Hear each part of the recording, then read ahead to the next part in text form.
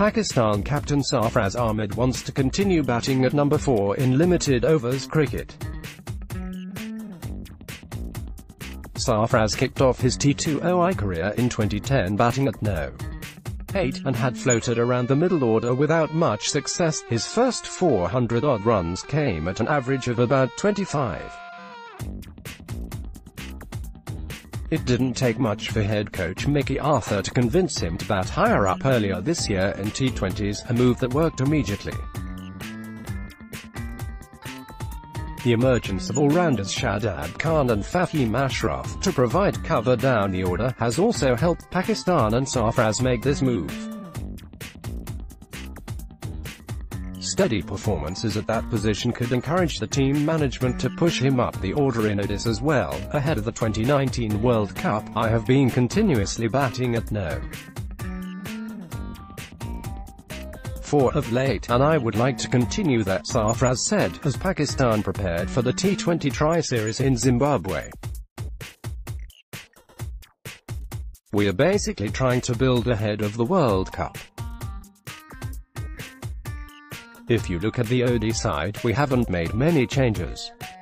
Fakhar Zaman, Shadab, Haris Sohail, who is back in the side, Babar Azam at top, Muhammad Hafeez and Shoaib Malik are around. So we are settling and it is good that the team is performing and we're going in right direction with the right combination, Pakistan, according to Sarfraz, were wary of Australia, the third team in the Tri-Series, and the conditions in Zimbabwe, but remain confident of performing well. Our preparation is good. We got a couple of days here in Lahore and three days there in Zimbabwe to train before the series, he said.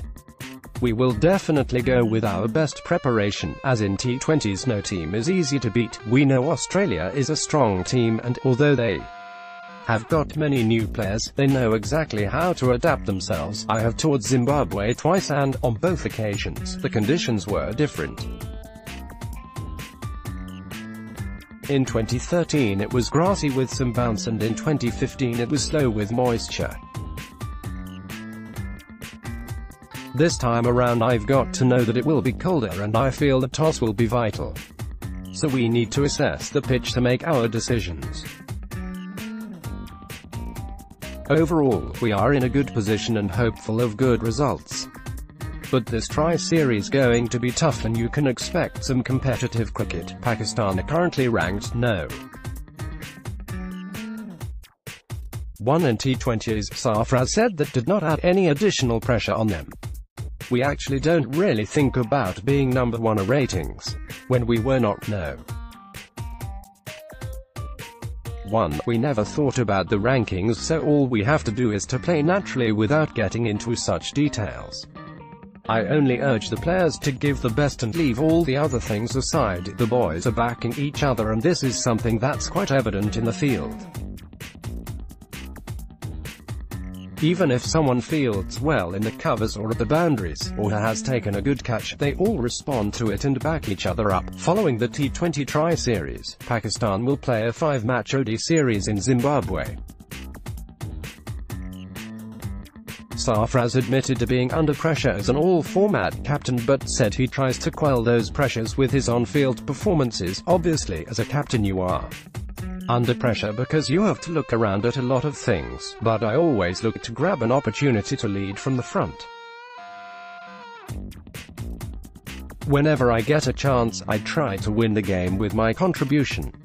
I am aware of my individual form and I've been working hard to contribute with both with bat and behind the wicket.